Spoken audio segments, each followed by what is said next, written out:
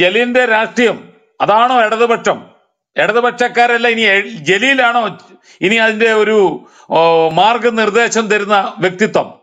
അദ്ദേഹമാണോ നമുക്ക് A K ജിയെയും E M എസിനെയും ഒക്കെ മാറ്റിവെക്കാം? ജലീലിനെ ഫോട്ടോ മുമ്പിൽ വെച്ച് ജലീൽ എന്തോ ആണ് കാണിക്കുന്നത് അതാണ് ഇടതുപക്ഷത്തിന്റെ മാർഗം എന്ന് പഠിപ്പിക്കേണ്ടതായിട്ട് വരുവാ പണിയൻ. അല്ല അത് തീർച്ചയായിട്ടും ഞങ്ങൾ അതിനെ സംബന്ധിച്ചിട്ട് ചർച്ച ചെയ്യും. എനിക്ക് തോന്നുന്നില്ല ഒരു സയനിസ്റ്റ് ക്രിസ്ത്യൻ മനോഭാവം കൊണ്ട് നടക്കുന്ന ആളുകളെ സംബന്ധിച്ചിടത്തോളം കുറെ നേരമായിട്ട് സയനിസ്റ്റ് ക്രിസ്ത്യൻ സയനിസ്റ്റ് ക്രിസ്ത്യൻ എന്ന് പറയുന്നത് എന്താ ഇവിടെ ഈ ഗ്രൂപ്പിൽ എന്തോ സയനിസ്റ്റ് ക്രിസ്ത്യൻ പറഞ്ഞത്? നിങ്ങൾ കുറെ നേരമായിട്ട് പറയുന്നത് കുറച്ച് പേര് കണ്ടിട്ട് കുറച്ച് ആളുകൾ സംസാരിക്കുന്നത് കേട്ടിട്ട് നിങ്ങൾ സയനിസ്റ്റ് ക്രിസ്ത്യൻ എന്ന് പറയുന്നത്. നാണമില്ല നിങ്ങൾക്ക് ഇങ്ങനെ വർഗീയവൽക്കരിക്കാൻ ആളുകളെ വേ- വേർതിരിക്കാൻ മതത്തിന്റെ പേരിൽ നിങ്ങളുടെ നി- പൗല ഒന്ന് ഇടപെടുക പണിയൻ നമ്മളെ ഈ ക്രിസ്ത്യാനികളെ മുഴുവൻ സംഖ്യയാക്കി അത് താങ്കൾ എന്താ ഇങ്ങനെ സംസാരിക്കുന്നത് ഇനി താങ്കൾ സംഖ്യയാണോ? അല്ല ഞാൻ പറഞ്ഞല്ലോ ഞാൻ പതിനഞ്ച് പള്ളികളുള്ള ഇടതുപക്ഷ ചിന്താഗതികളെ കുറിച്ച് പറയൂ. ജനങ്ങളുടെ ഉള്ളിൽ ഒരു ബോധം വരട്ടെ ഇടതുപക്ഷത്തിന്റെ നിലപാടുകളെ കുറിച്ച് താങ്കൾ പറയൂ സാർ. ജ്ഞാനായ സഭ ഉൾപ്പെടെ എല്ലാ സഭ വ്യത്യസ്ത സഭകൾക്ക് പതിനഞ്ച് സഭകൾക്ക് പള്ളിയുള്ള അല്ല അല്ല ഈ മതപരം ഈ മതപരമായിട്ട് കാറ്റഗറിക്കലായിട്ടുള്ള സംഭാഷണം നിങ്ങൾ അവസാനിപ്പിച്ചിട്ട് നിങ്ങൾ പൊളിറ്റിക്കലായിട്ട് സംസാരിക്കൂ. പ്ലീസ് ഞങ്ങൾ ചോദിക്കുന്നത് അതല്ലേ? നിങ്ങളോട് പൊളിറ്റിക്കൽ ആയിട്ടുള്ള ചോ- ചോദ്യം ചോദിക്കുമ്പോൾ നിങ്ങൾ റിലീജിയസ് ആയിട്ട് വർഗീയവർഗിച്ച ആളുകളെ തിരിച്ച് വർത്തമാനം പറയുന്നത് എന്താ? അതല്ലേ നിങ്ങളുടെ അടിസ്ഥാന തന്ത്രം. അപ്പോ പൗലോ ഒരു മിനിറ്റ് ഒന്ന് ഇടപെടല്ലേ ആരും? ഞാൻ കൊടുത്തോട്ടം സാറിലേക്ക് ഒന്ന് പോവുകയാണ്. കൊടുത്തോട്ടം സാർ താങ്കൾ ഇവിടെ ഉണ്ടോ കേൾക്കുന്നുണ്ടോ എങ്ങനെയാണ് സാർ ഈ ജലീലിന്റെ ഒക്കെ വിഷയം ഇങ്ങനെ നിൽക്കുന്നു? ഒരു സ്റ്റേറ്റ് മിനിസ്റ്റർ രാജ്യാന്തര വിഷയങ്ങളിലേക്ക് ഇടപെടുക അങ്ങോട്ടും ലെറ്റർ അയക്കുക ആ മാധ്യമങ്ങളെ നിയന്ത്രിക്കാൻ അവരെ ഉപദേശിക്കുക. എന്ത് നിലപാടാണിത്? ഇതാണോ ഇടതുപക്ഷം? താങ്കൾ കാണുന്ന ഒരു ഇടതുപക്ഷവും ഇത്തരം ഈ വ്യക്തി ഒരുപാട് പ്രയാസങ്ങൾ ഉണ്ടാക്കുന്നുണ്ട് കേരള ജനത്തിന്റെ മധ്യത്തിൽ. ഇടതുപക്ഷ ചിന്ത പ്രത്യേകിച്ച് ഇടതുപക്ഷ ചിന്താഗതിക്കാരുടെ ഇടയിൽ ഈ വ്യക്തി ഒരുപാട് പ്രശ്നങ്ങൾ ഉണ്ടാക്കുന്നുണ്ട്. അദ്ദേഹം ചിലപ്പോൾ ഖുറാൻ കൊണ്ടുവന്ന് വിതരണം നടത്തുന്നു ഈന്തപ്പഴം കൊണ്ട് വിതരണം നടത്തുന്നു. ചിലപ്പോൾ അദ്ദേഹത്തിന്റെ പേരിൽ ഇതുപോലുള്ള മാധ്യമങ്ങളെ നിയന്ത്രിക്കാൻ മറ്റു രാജ്യങ്ങളിലേക്ക് കത്തുകൾ അയക്കുന്നു വ്യത്യസ്ത പേരുകൾ പുള്ളി സൂക്ഷിക്കുന്നു. അങ്ങനെ ആകെപ്പാടെ ഇട- ഇടതുപക്ഷക്കാരുടെ ഇടയിൽ ഇദ്ദേഹം മുഖാന്തരം സ്വർണ കള്ളക്കടത്ത് കേസുകൾ ഇടതുപക്ഷത്തിന്റെ തലയിൽ വന്ന് വീഴുന്നു. എന്താണ് സാർ ഈ ജലീൽ രാഷ്ട്രീയം? താങ്കൾ എങ്ങനെയാണ് ജലീൽ രാഷ്ട്രീയം നോക്കിക്കാണുന്നത്?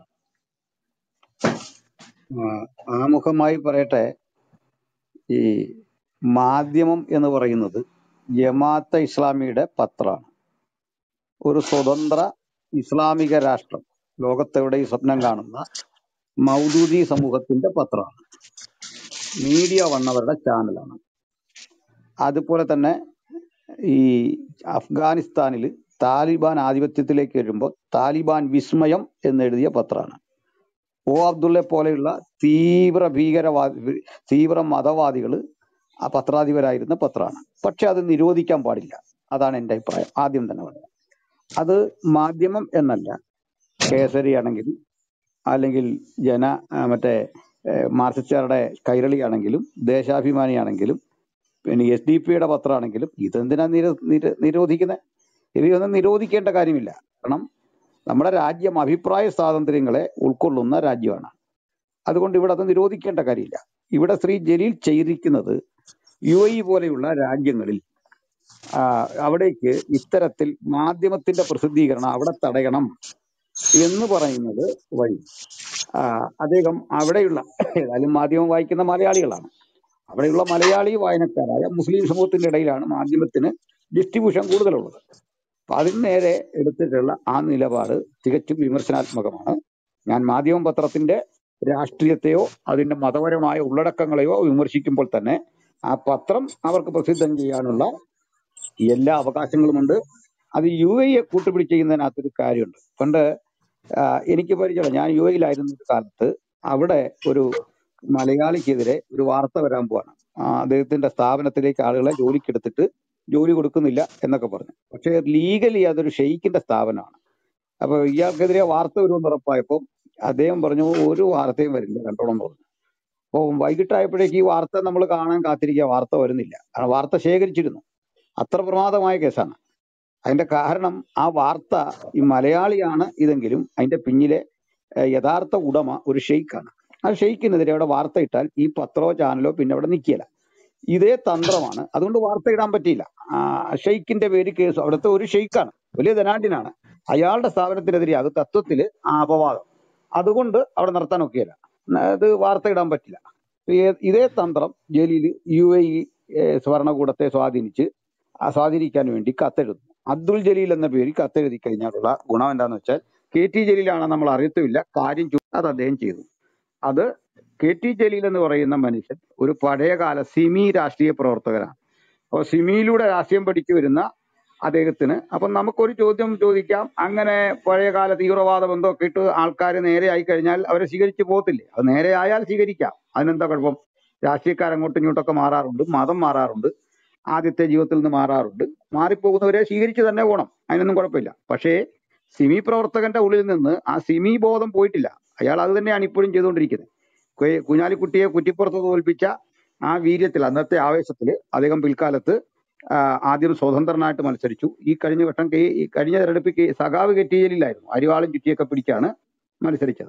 അദ്ദേഹമാണ് സത്യത്തിൽ ഇവിടെ ഇപ്പോൾ നിലനിൽക്കുന്ന ക്രിസ്ത്യൻ ഇസ്ലാം സമൂഹത്തിന്റെ ഇടയിലെ ഈ വലിയ അകൽച്ചയിൽ ഗണ്യമായ പങ്ക് വഹിച്ചൊരു മനുഷ്യനാണ്.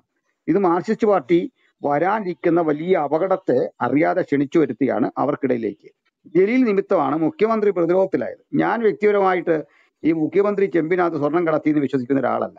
കാരണം അത്രമാത്രം അദ്ദേഹം പൊട്ടനല്ല. അദ്ദേഹത്തിന് ആ കഥയിലൊന്നും എനിക്ക് ഒരു വിശ്വാസവും ഇല്ല.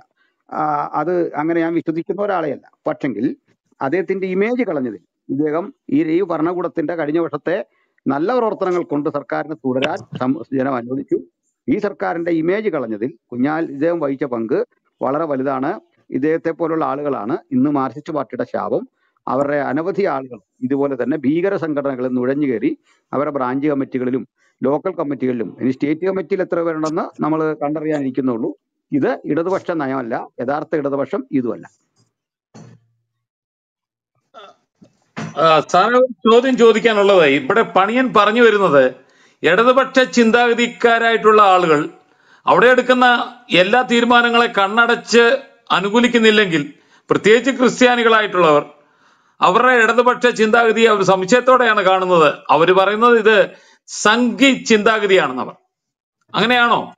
ക്രിസ്ത്യാ ക്രിസ്ത്യ സമൂഹം മുഴുവൻ സംഘി ചിന്താഗതിക്ക് അടിമപ്പെട്ട് കിടക്കുകയാണോ? അതൊക്കെ ഒരു ബാലിശമായ കാഴ്ച. തിരിച്ച് ഇതുപോലെ ഇപ്പം ഒരു വോട്ട് ഇന്നലെ മുർമുവിന് ലഭിക്കുക. അത് പിണറായി വിജയൻ ചെയ്തതാണ്. പിണറായി വിജയനുമായിട്ടൊരു ലിങ്ക് അവർക്കുണ്ട്. എം എം മണി ചെയ്തതാണ്. ഞാൻ വിശ്വസിക്കുന്ന ഒരാളല്ല. അത് രസം ഒരു സുഖമുള്ള വിമർശനമല്ല നടത്തുന്നുണ്ട്. പിണറായി വിജയൻ മുർമു നോട്ട് ചെയ്തു എന്നൊക്കെ പറയുന്ന തരത്തിലെ വിമർശനം പോലെയാണ്. അഭിപ്രായ വ്യത്യാസം പറഞ്ഞാൽ ഉടൻ അവൻ ചങ്കിയാകുന്നു കമ്മിയാകുന്നു. അതിനകത്തൊന്നും അർത്ഥമില്ല. അത് സഹിഷ്ണുത ഇല്ലായ്മയുടെ ലക്ഷണമാണ്. നമ്മൾ അഭിപ്രായ ഞാനാണ് എന്റെ പക്ഷം തീരുമാനിക്കുന്നത്. മറ്റൊരാളല്ല. ഞാൻ സംഘപരിവാറാണ്. എനിക്ക് തുറന്നു പറയാൻ ധൈര്യം ഉണ്ടാകണം. അതിന് വളഞ്ഞ വഴിയുടെ ഒന്നും ആവശ്യമില്ല. നിങ്ങളാക്കേണ്ട കാര്യമില്ല. ഞാനാണ് എന്റെ രാഷ്ട്രീയ അസ്തിത്വം തീരുമാനിക്കുന്നത്. അത് തന്നെ ഒരുതരം ഫാസിസമാണ്. അത് ബി ജെ പി ചെയ്യുന്ന രാഷ്ട്രീയത്തിന്റെ മറുവശമാണ് കാണിക്കുന്നത്. കാരണം നിങ്ങളുടെ രാഷ്ട്രീയം എന്താണെന്ന് ഞാൻ തീരുമാനിക്കും. നിങ്ങളുടെ ഭക്ഷണം എന്താണെന്ന് ഞാൻ തീരുമാനിക്കും. നിങ്ങളുടെ ഭാഷ എന്താണെന്ന് ഞാൻ തീരുമാനിക്കും. നിങ്ങൾ ഏത് കോളേജിൽ പഠിക്കണമെന്ന് ഞാൻ തീരുമാനിക്കും. നിങ്ങളുടെ സിലബസ് എന്താണെന്ന് ഇങ്ങനെ ഇപ്പൊ ബി ജെ പി ചെയ്യുന്ന അതേ പണി തന്നെയാണ് ഒരുപക്ഷെ ഇടതുപക്ഷക്കാർ ചെയ്യുന്നത്. അഭിപ്രായ വ്യത്യാസം പറഞ്ഞു പോയാൽ ഉടനെ അവനെ സംഖ്യയാക്കുക. സംഖ്യകളാണ് തിരിച്ച് നമ്മൾ അനുകൂലം പറഞ്ഞാൽ ജിഹാദിയാക്കുക. ഇതൊരു തന്ത്രമാണ്. അങ്ങനെ ആക്കേണ്ട ഒരു ബാധ്യതയൊന്നുമില്ല. കാരണം അത് വസ്തുതയെ നേരിട്ട് കാണാൻ കഴിയാത്ത ഒരു മാനസികാവസ്ഥയാണ് പിന്നെ ഇവിടെ എന്തോ സയനിസ്റ്റ് ക്രിസ്ത്യനോ അങ്ങനെ ഒരു പദപ്രയോഗം. ഞാൻ അതിന്റെ മതം പറയുന്നില്ല. അതിന്റെ രാഷ്ട്രീയം വേണമെങ്കിൽ നമുക്ക് ചർച്ച ചെയ്യാം. ഈ സൈനിസത്തിന്റെ രാഷ്ട്രീയം തന്നെ ചിന്തിക്കാനുള്ളതാണ്. ഇവിടുത്തെ ഇടതുപക്ഷക്കാര് ഈ കുടിയേറ്റം അതായത് പാലസ്തീനികളുടെ സ്ഥലമാണ് അവരെ അത് തിരിച്ചു കൊടുക്കണം. അവർക്ക് സ്വാതന്ത്ര്യം ഇല്ല എന്ന് പറയുമ്പോൾ എന്തായിരുന്നു നമ്മുടെ ഇവിടെ ഇവിടെ നമ്മൾ ചർച്ചയ്ക്ക് എടുക്കണമെങ്കിൽ തന്നെ ഈ കേരളത്തെ ചർച്ചയ്ക്ക് എടുക്കണ്ടേ? മൂന്നാറിലെ കുടിയേറ്റത്തെ പറ്റി ചർച്ച ചെയ്യണ്ടേ? ഇടുക്കിയിലെ കുടിയേറ്റത്തെ പറ്റി ചർച്ച ചെയ്യണ്ടേ?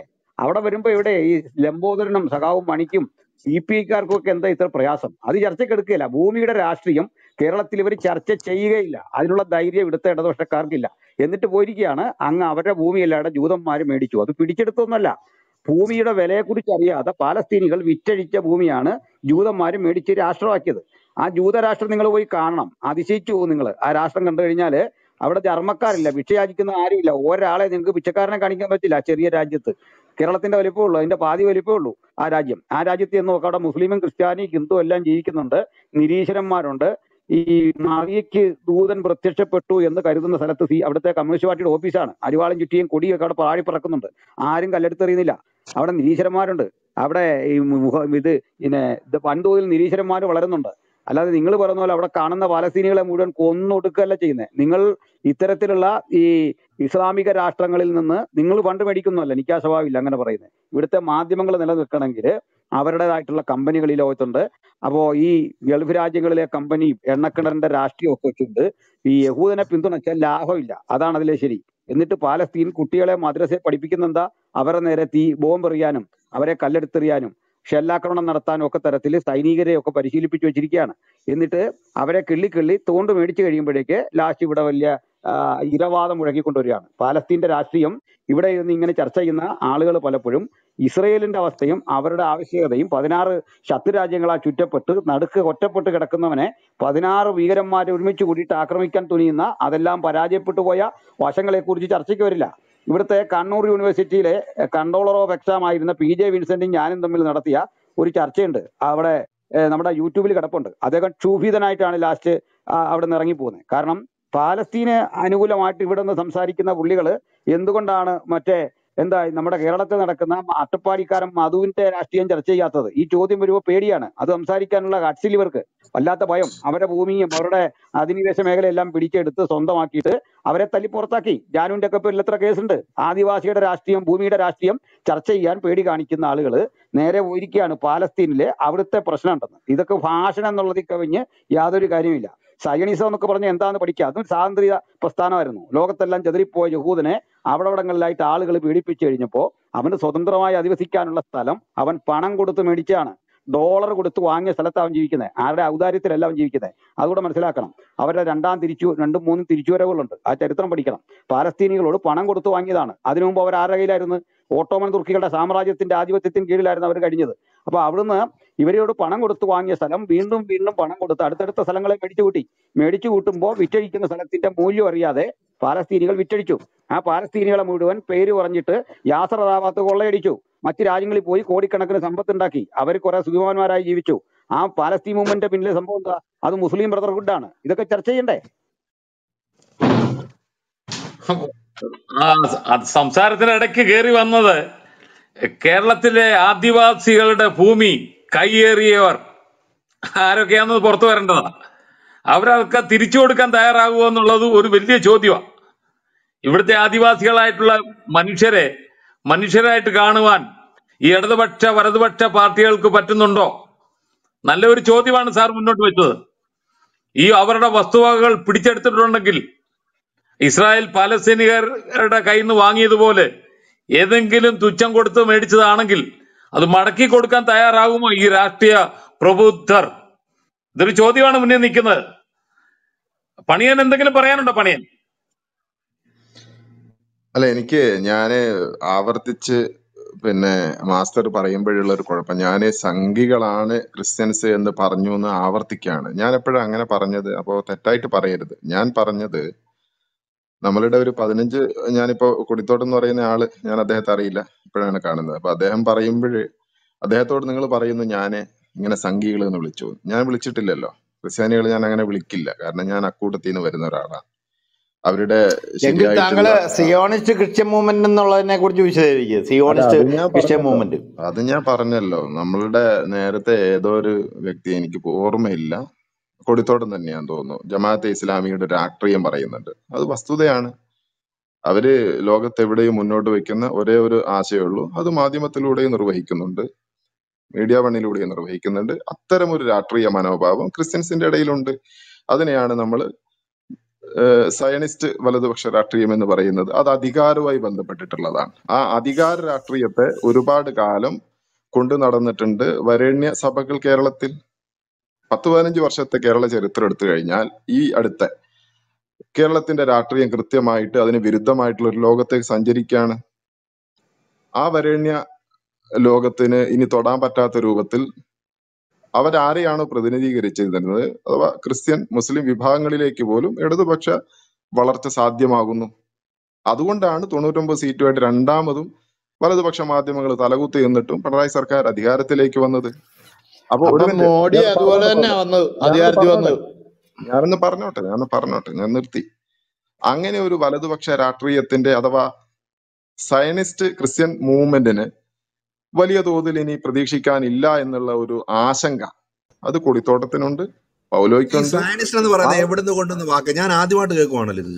ഈ സയനിസ്റ്റ് ക്രിസ്ത്യൻ കേരളത്തിലുണ്ടെന്ന് പറയും ഇത് എവിടുത്തെ ഇത് ഇത് എന്തുവാണ് ഇത്? നിങ്ങൾ ഇപ്പോൾ പുതിയതായിട്ട് കൊണ്ടുവരുന്ന ഇത് എന്ത് സംഭവം നിങ്ങൾ കേട്ടിട്ടില്ല എന്ന് വിചാരിച്ചിട്ട് ഇല്ലാന്നില്ലല്ലോ. എന്നില്ലല്ലോ നിങ്ങൾ പറഞ്ഞു ഉണ്ടാക്കി ഉണ്ടാക്കി ഇപ്പൊ സ്ഥാപിക്കാൻ അല്ല ഇവിടെ. അല്ല നി- നി- നിങ്ങൾ എവിടുന്ന പാർട്ടി ക്ലാസ്സിൽ നിന്ന് കിട്ടിയ വാക്കും കൊണ്ട് വന്നിട്ട് ഇവിടെ സയനിസ്റ്റ് എന്ന് പറഞ്ഞാൽ അത് എന്താന്ന് നിങ്ങൾ എക്സ്പ്ലെയിൻ ചെയ്യണം. യു ഷുഡ് എക്സ്പ്ലെയിൻ ദിസ് എന്റെ പാർട്ടി എനിക്ക് തരുന്നതാണല്ലോ എനിക്കുണ്ടാവും. അല്ലാണ്ട് ഞാനിപ്പോ പോയിട്ട് നിങ്ങൾ ഇരുന്നത് പോലെ സയനിസ്റ്റ് ക്ലാസ്സിലാണെങ്കിൽ നിങ്ങൾക്ക് അതുണ്ടാവും നിങ്ങൾ അതുകൊണ്ടാണ് ഒന്നിച്ചിവിടെ ഇരിക്കുന്നത്. ഞങ്ങൾ ഞങ്ങൾക്ക് പാർട്ടിയിൽ എന്നല്ല ഞങ്ങൾക്ക് എവിടെ നിന്ന് കിട്ടുക? ഞങ്ങൾക്ക് ആകാശത്തിൽ നിന്ന് വരാൻ ലഭ്യമാരൊന്നുമില്ലല്ലോ അപ്പൊ ഞാൻ പറഞ്ഞു വന്ന അതാണ്. ഇപ്പൊ കൊടിത്തോട്ടം അങ്ങനെ തെറ്റിദ്ധരിക്കാൻ തലയില്ല എന്നും സ്വന്തമായിട്ട് പറഞ്ഞു. ചുരുക്കം. അല്ലെ ഞാൻ പറയുന്നതിനകത്ത് അദ്ദേഹം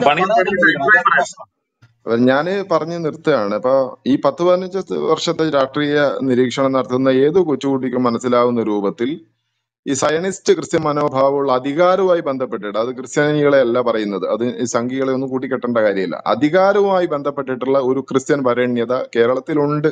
അവർ ഇടതു വന്നു കഴിഞ്ഞാലും വലതു വന്നു കഴിഞ്ഞാലും സാധിച്ചിരുന്ന ഒരു ലോകമുണ്ട്. അതിനി അസാധ്യമാം വിധം എല്ലാ ബെൽറ്റുകളിലേക്കും നേരത്തെയൊക്കെ ക്രിസ്ത്യ ഏഹ് ഹിന്ദു മൂവ്മെന്റിലൊക്കെ പണിയൻ ക്ഷമിക്കണം ഒരു കാര്യം ചോദിക്കാൻ വേണ്ടിയായിരുന്നു. കൊടുത്തോട്ടം ഇവിടെ ഒരു കാര്യം മുന്നോട്ട് വെച്ചായിരുന്നു. ആദിവാസികളുടെ ഭൂമികൾ തുച്ഛം വിലയ്ക്ക് പലരുടെ പേരിലായിട്ട് കിടക്കുകയാണിത്. കുത്തക പാട്ടോ മറ്റുള്ള രീതിയിലൊക്കെ ആയിട്ട് വിഭജിച്ച് കിടക്കുകയാണ്. അവർക്ക് കൃഷി ചെയ്യാൻ ഭൂമിയില്ല. താമസ എന്തിന് താമസിക്കാൻ പോലും ഭൂമിയില്ലാത്ത അവസ്ഥയാണ്. ഇടതുപക്ഷം മുന്നിൽ മുൻകൈ എടുത്ത് അതൊക്കെ തിരിച്ചു കൊടുക്കുമെന്ന് താങ്കൾ പ്രതീക്ഷിക്കുന്നുണ്ടോ? അത് തിരിച്ചു കൊടുക്കാൻ വർഷം കഴിഞ്ഞില്ലേ? രാജ്യം ഭരിക്കാൻ തുടങ്ങിയിട്ട്. തിരിച്ചു കൊടുക്കാൻ വേണ്ടിയുള്ള ശ്രമത്തിന്റെ ഭാഗത്തിൽ ശ്രമത്തിലായിരുന്നല്ലോ ആ ചർച്ചകൾ എന്ന് വരെ പോകും അല്ല നടപടി പിന്നെ ആ തിരിച്ചു കൊടുക്കാനുള്ള ശ്രമത്തിന്റെ ഭാഗമായിട്ട് ഉള്ള പ്രവർത്തനത്തിന്റെ കുഴപ്പം കൊണ്ടാണ് അമ്പത്തി ഒമ്പതിൽ ഇ എം എസ് വീണുപോയത് ഈ വരേണ്യ അധികാരവുമായി ബന്ധപ്പെട്ട നവ ക്രിസ്ത്യൻ സൈനിസത്തിന്റെയും വരേണ്യ ക്രിസ്ത്യൻ ക്രിസ്ത്യൻ എന്ന് പറഞ്ഞ ഇങ്ങനെ കുറെ നേരമായിട്ട് പറയുന്നുണ്ട്. എന്തോ ഇയാൾക്ക് ഇയാൾക്ക് ഇയാൾക്ക് എന്തോ ക്രിസ്ത്യൻ ക്രിസ്ത്യാനി ഇവിടെ വേറെ ആരും ഇല്ലയോ ഇവിടെ? ഈ മുസ്ലിങ്ങൾ മുസ്ലിം പ്രീണനം ഒന്നും ഈ ഈ രാജ്യത്ത് നടക്കുന്നില്ലേ? ഏ നിങ്ങൾ ക്രിസ്ത്യൻ ക്രിസ്ത്യൻ ക്രിസ്ത്യാനികൾക്കെതിരായിട്ട് മാത്രം താങ്കളുടെ ശബ്ദം പോകുന്നു അതാണോ ഇടതുപക്ഷ ചിന്താഗതി? അങ്ങനെയാണോ ഞാൻ ഇപ്പൊ പോകുന്നത്? ഞാൻ അങ്ങനെയല്ല പറഞ്ഞത്. മാസ്റ്റർ ഞാൻ അങ്ങനെയല്ല പറഞ്ഞത്. അറിയാതെ അത് തന്നെയാ വരുന്നത്.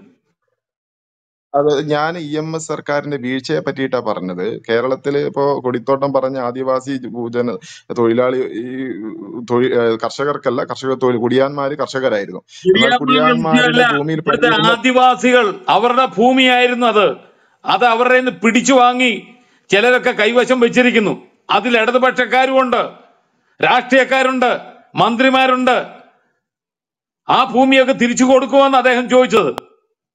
അതാ ഞാൻ പറയുന്നത്. ഞാൻ പറഞ്ഞു വരുന്നത് അതാണ്. അമ്പത്തി ഒൻപതിലെ സർക്കാർ അമ്പത്തി ഏഴിലെ സർക്കാർ വരുമ്പോൾ അമ്പത്തി ഒമ്പത് സർക്കാരിൽ അത് വീഴുമ്പോൾ പ്രശ്നം വരുന്നത് അഞ്ചു ലക്ഷം ഏക്കറോളം ഭൂമി കുടിയാൻ ഇത് ജന്മി കുടിയാൻ ബന്ധത്തിന്റെ കാലഘട്ടത്തിൽ ഭൂമിക്ക് പരിധി നിശ്ചയിക്കുകയും പരിധിക്കപ്പുറത്തുള്ള ഭൂമി സർക്കാരിന്റെതാക്കി മാറ്റി വിതരണം കുടിയാന്മാർക്ക് വിതരണം ചെയ്യുകയും കുടിയാന്മാർക്ക് ശേഷം അഥവാ അവരുടെ കൂടെ കർഷക തൊഴിലാളികളും ആദിവാസികളും ഉൾപ്പെടുന്ന അവർ കുടിയാന്മാരിൽ വരുന്നവരല്ല. പട്ടക്കുടിയാന്മാരിൽ ആദിവാസികളോ അതല്ലെങ്കിൽ കർഷക തൊഴിലാളികളോ വരില്ല. അവർ പണിക്കാർ മാത്രമാണ് അവർക്കും കൂടിയുള്ള വസ്തുക്കളൊക്കെ ശേഖരിച്ച് ഏതാണ്ട് അഞ്ചു ലക്ഷം ഏക്കർ അക്കാലത്തുണ്ട്. അഞ്ചു ലക്ഷം ഹെക്ടർ. മനസ്സിലായില്ലേ? ഈ അഞ്ചു ലക്ഷം ഹെക്ടർ ഈ പറഞ്ഞ ആദിവാസി വിഭാഗത്തിലും കർഷക തൊഴിലാളികൾക്കും പോകുന്നു എന്നറിഞ്ഞപ്പോഴാണ് വരേണ്യ ക്രിസ്ത്യൻ സയനിസ്റ്റ് വിഭാഗം ഉൾപ്പെടെയുള്ള ആളുകൾ പ്രക്ഷോഭത്തിനിറങ്ങുകയും പ്രക്ഷോഭത്തിനിറങ്ങുകയും ഇറങ്ങിയതിന്റെ ഭാഗമായിട്ട് കേന്ദ്ര ഗവൺമെന്റിൽ സ്വാധീനിച്ച് ഇന്ത്യയിൽ തമാശക്കാരനാണല്ലോ. ഈ സയോണിസ്റ്റ് എന്ന് പറഞ്ഞിട്ട് ഈ സയോണിസ്റ്റ് എവിടുന്ന് കൊണ്ടുവന്നു? ഈ ഇന്ത്യ ഈ- തമാശക്കാരൻ പാർട്ടിയിലേക്ക് ഇങ്ങനെ നിരന്തരമായിട്ട് ഇപ്പൊ ഈ വിഷയം വരുന്നുണ്ടല്ലേ? സയോണിസ്റ്റ് എന്ന് പറയുന്ന ഒരു വാക്ക് വരുന്നുണ്ടല്ലേ? അതൊരു അധികാര രാഷ്ട്രീയമാണ് അല്ലാണ്ട് ഏതെങ്കിലും ഒരു വിഭാഗത്തോ അല്ല അതൊരു ജാതിയോ മതമോ അടിസ്ഥാനപ്പെടുത്തിയിട്ടല്ല. അത് നിങ്ങളൊരു ക്രിസ്ത്യാനിയാണ് എങ്കിൽ നിങ്ങൾ തന്നെ വേവലാതിപ്പെടേണ്ട കാര്യമില്ല. അധികാര രാഷ്ട്രീയത്തിന് ഹിന്ദുവോ മുസ്ലിം ഇപ്പൊ ആർ എസ് എസ് ഞാൻ എന്ത് ഞാൻ നിങ്ങൾ എന്ത് കാര്യത്തിൽ ഞാൻ എന്ത് കാര്യത്തിൽ വേലപ്പെടുന്നു ഞാൻ നിങ്ങൾ ആലോചിച്ചോളാം. കരുതുന്നത് ആർ ഈ എസ് എസ് സയോണിസ്റ്റ് എന്ന് പറയുന്ന ആ പ്രയോഗത്തിന്റെ നിങ്ങൾ കരുതുന്നത് ആർ എസ് എസ് ഹിന്ദുക്കളാണെന്നാണോ അല്ലല്ലോ. ആർ എസ് എസ്കാർ ഹിന്ദുക്കളാണെന്ന് നിങ്ങൾ വിചാരിക്കുക അങ്ങനെയല്ല അത് അധികാര രാഷ്ട്രീയവുമായി ബന്ധപ്പെട്ട സയനിസ്റ്റ് ക്രിസ്ത്യൻ ക്രിസ്ത്യനൈസ് എന്ന് പറയുന്നത് ആർ എസ് എസ് അതൊരു ക്രിസ്ത്യൻ ഗ്രൂപ്പ് അല്ല അതൊരു അധികാര രാഷ്ട്രീയവുമായി ബന്ധപ്പെട്ടതാണ്. ജമാഅത്ത് ഇസ്ലാമി അങ്ങനെയാണ്. അത് മുസ്ലിംസിനെ മുസ്ലിമായിട്ട് എടുക്കേണ്ട കാര്യമില്ല. നിങ്ങൾ അങ്ങനെ പൊള്ളണ്ട. ഞാൻ പറയുന്നതാണ് ഇവിടെ അമ്പത്തി ഒമ്പതിലെ സർക്കാർ വീണു പോവാനുള്ള കാരണം നമ്മളുടെ തൊഴിലാളി വർഗത്തിനും ആദിവാസി ഉൾപ്പെടെയുള്ള ഭൂമി ഈ പറയുന്ന ജന്മിമാരുടെ ഭൂമിയായിട്ട് മിച്ചം കിട്ടിയതിന് ശേഖരിച്ച് വിതരണം ചെയ്യുന്ന ഒരു ഘട്ടത്തിലാണ് കേന്ദ്ര സർക്കാരിനെ കൂട്ടുപിടിച്ച് ആ സർക്കാരിനെ പറഞ്ഞു വിട്ടത് അത് അനുഭവിച്ചിട്ട് പത്ത് എഴുപത്തഞ്ച് കൊല്ലാകുമ്പോൾ നമ്മളോട് ചോദിക്കുകയാണ് നിങ്ങൾ ആദിവാസികൾക്ക് ഭൂമി കൊടുക്കുമെന്ന് മനസ്സിലായില്ലേ? ആ ഒരു തീരുമാനം എടുത്തതിന്റെ പേരിൽ ആയിരത്തി തൊള്ളായിരത്തി എൺപത് വരെയുള്ള ഏതാണ്ട് ഇരുപത്തിയഞ്ച് വർഷം ഇരുപത്തിയഞ്ച് വർഷത്തെ കാലത്ത് ആകെ ഇന്നത്തെ ഇടതുപക്ഷം എന്ന് പറയുന്ന സർക്കാരുകൾക്ക് ഭരിക്കാൻ കഴിഞ്ഞ അഞ്ചു വർഷമാണ് ബാക്കി ഇരുപത് വർഷവും ഭരിച്ചത് യു ഡി എഫ് ആണ്. ഇന്നത്തെ യു ഡി എഫ് ആണ്. മനസ്സിലായില്ലേ?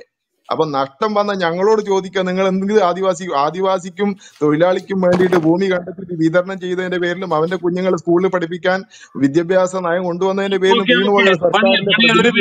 ഒരു മിനിറ്റ്. ആ പ്രദേശങ്ങളിലൊക്കെ ആയിട്ട് താമസിക്കുന്ന വ്യക്തിയും കൂടെയാണ് കൊടുത്തോട്ടം എങ്ങനെയാണ് സാർ ഈ ഭൂമിയൊക്കെ വിതരണം ചെയ്യാൻ ഇടതുപക്ഷം മുൻകൈ എടുത്ത് വിതരണം ചെയ്തോ? അതോ രാഷ്ട്രീയക്കാരുടെ കയ്യിൽ പെട്ടോ? ഈ ഭൂപരിഷ്കരണം ഇ എം എസിന്റെയും ഗൗരിയമ്മയുടെ ഒക്കെ ബില്ല് അങ്ങേയറ്റം ജനവിരുദ്ധം ഇല്ലായിരുന്നു. എന്തറിഞ്ഞ ഇദ്ദേഹം ഈ ഈ കാര്യം പറയുന്നത്? എത്ര ആദിവാസിക്ക് അന്ന് ഭൂമി കിട്ടിയത്? കുടിയാന്മാർക്ക് ആദ്യം കൊടുത്തിട്ട് രണ്ടാമത് ആദിവാസിക്ക് കൊടുക്കാവുന്നു ഇതൊക്കെ ആരോടാ പറയുന്നത്? കയ്യേറ്റവും കുടിയേറ്റവും രണ്ടാണ് സാറേ. കുടിയേറ്റം വരെ കയ്യേറ്റം വരെ രണ്ടായിട്ട് കാണണം. ഞാൻ കുടിയേറ്റക്കാരെ പറ്റിയല്ല പറയുന്നത്.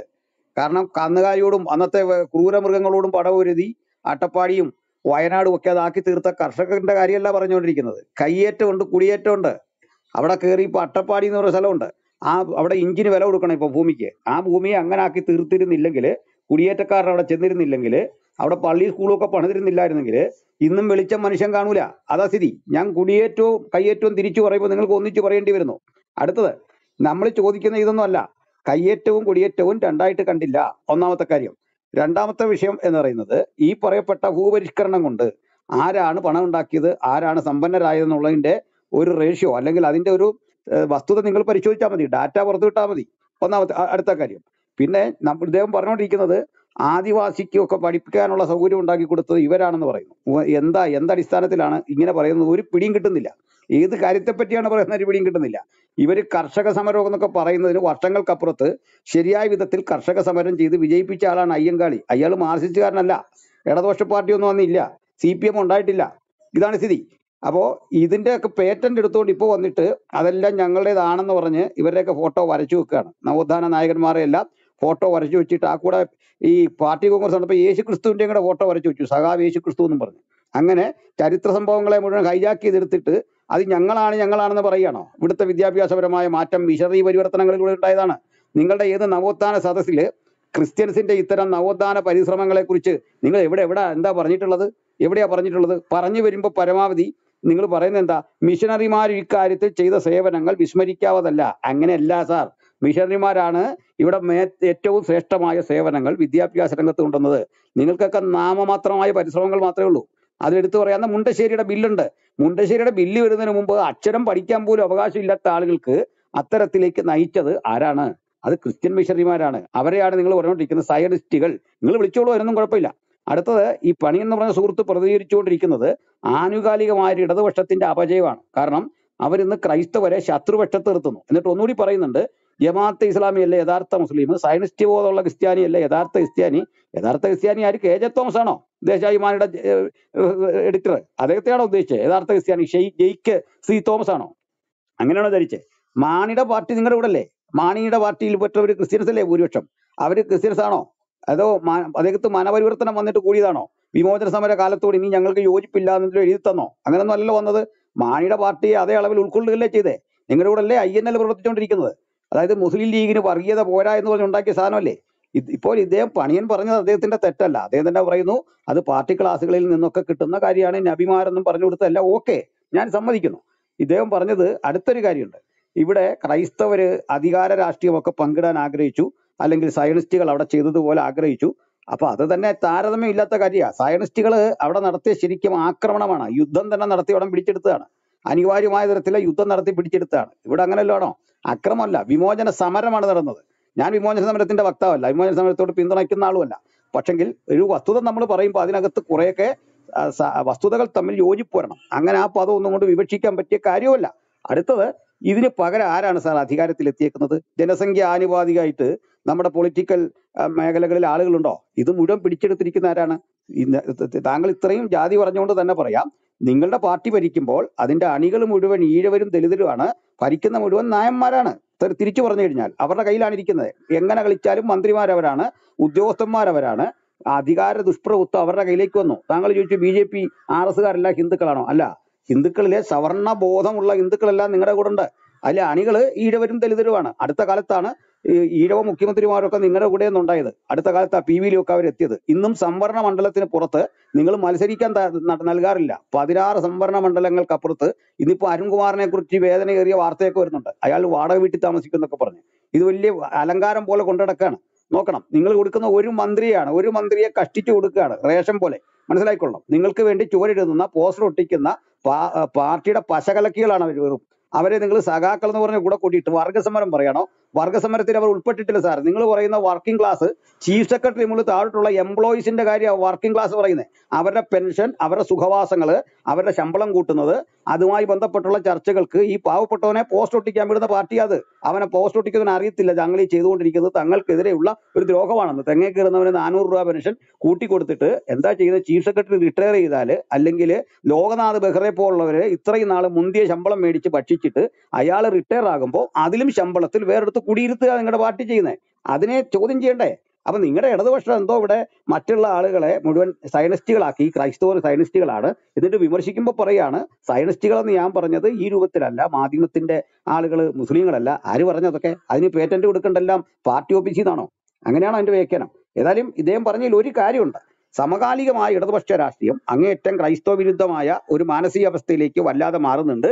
പകരം ആ സ്പേസ് കൃത്യമായി തന്നെ അവർ എസ് ഡി പി യെ കൊണ്ട് അവിടെ പൂരിപ്പിക്കുന്നുണ്ട്. അതുകൊണ്ടാണ് അപ്രഖ്യാപിത ഇടതുപക്ഷം ആയിട്ട് എസ് ഡി പി ഐ മാറുന്നതും രേഖാമൂലം അവരില്ലെങ്കിലും ഇട സി പി എമ്മിന്റെ എല്ലാ നയങ്ങളിലും പരിപാടികളിലും എസ് ഡി പിയുടെ സാന്നിധ്യം ഉണ്ടാകുന്നതും എ കെ ജി സെന്ററിന് നേരെ ബോംബ് എറിഞ്ഞപ്പോൾ അവിടെ പോയിട്ട് ഐക്യദാർഢ്യം പ്രഖ്യാപിക്കാൻ പോയതിന്റെ എല്ലാം കാരണം ഇവർ തമ്മിലുള്ള അവിശുദ്ധമായ ഒരു ബാന്ധവമാണ് എസ് ഡി പിയെ തള്ളിപ്പറഞ്ഞുകൊണ്ട് ഇവർക്കിടയിൽ നിന്ന് കാര്യമായിട്ടുള്ള ഏതെങ്കിലും ഒരു സഖാവ് സംസാരിച്ചു പോലും നമ്മൾ കേട്ടിട്ടില്ല എന്നുകൂടി ഈ സമയത്ത് ഓർക്കണം. ഓക്കെ. എന്താണ് സാർ മറുപടി? പണിയൻ. അല്ല നമുക്കിപ്പോ നിങ്ങളിൽ ആരോടും ഒരു അഭിപ്രായ വ്യത്യാസവും ഇല്ല എന്നല്ല നമ്മൾ പറയും നമുക്ക് അഭിപ്രായ വ്യത്യാസമുണ്ട്. പരസ്പരം രണ്ടറ്റത്ത് നിന്ന് സംസാരിക്കുന്നവരാണ്. പിന്നെ മിഷണറിമാരുടെ പ്രവർത്തനമൊന്നും ആരും തള്ളി പറയില്ല. നമ്മളുടെ കുടിത്തോട്ടം പറഞ്ഞതുപോലെ അയ്യങ്കാളി സമരം ഇടയ്ക്കൊന്ന് പറഞ്ഞു പോകാം. അല്ലെങ്കിൽ അതങ്ങ് വിട്ടുപോകും. ചാവറ കുറിയാക്കോസ് പേര് പാഠപുസ്തകത്തിൽ ഉൾപ്പെടുത്തുവാൻ ഒരു മറുപടി ഒരു വലിയ രോദനം ഉണ്ടാകേണ്ടി വന്നു അതിന്റെ പിന്നിൽ.